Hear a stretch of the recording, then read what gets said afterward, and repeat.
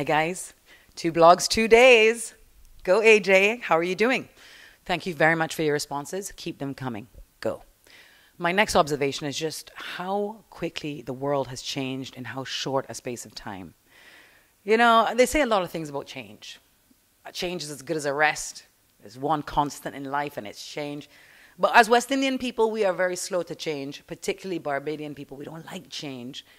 But then ch- change is now thrust upon us. It's interesting to observe. Now, being online, internet, technical, and technology savvy in this time is so paramount.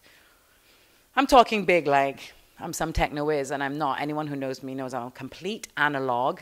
I like diaries. I like to write down things with pens. I like to read actual books with pages. But the truth is, the time has come for all of us to realize how absolutely essential um, online technology is and having a business that works virtually on the other side of this. I, I can't tell you how many posts I've seen from people who are like, I'm not going to have any work, but my job is almost out of date. And it's interesting because before this pandemic, we've been talking about that, haven't we, at home, saying, well, these jobs no longer fit the modern economy and everything is propped up. Well, now we have no choice.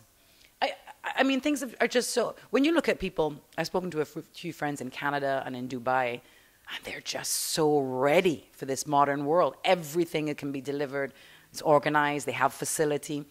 In Dubai, my friend told me, Yeah, I'm getting some gas for my car delivered at home by me. That seems extraordinary for us. But it's certainly something I know the Barbados Entrepreneurial Foundation has been talking about this for years.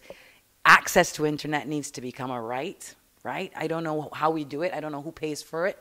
Facts and figures, all that needs to be worked out. But you have to imagine that work, people's work, people's enterprise has to change. Like I was just thinking, for example, there must be a job now as a Zoom party planner. My friend told me about this party she went to on Zoom the other day, right? People, it had like nine or ten rooms. This was the disco room, and this was the pool room, and still thinking, hang on, is that bit the emperor's new clothes? Because you know that they're just home in their living room, right? No, this is the modern world. We are online and we need to catch up. Thoughts? Your turn. Go.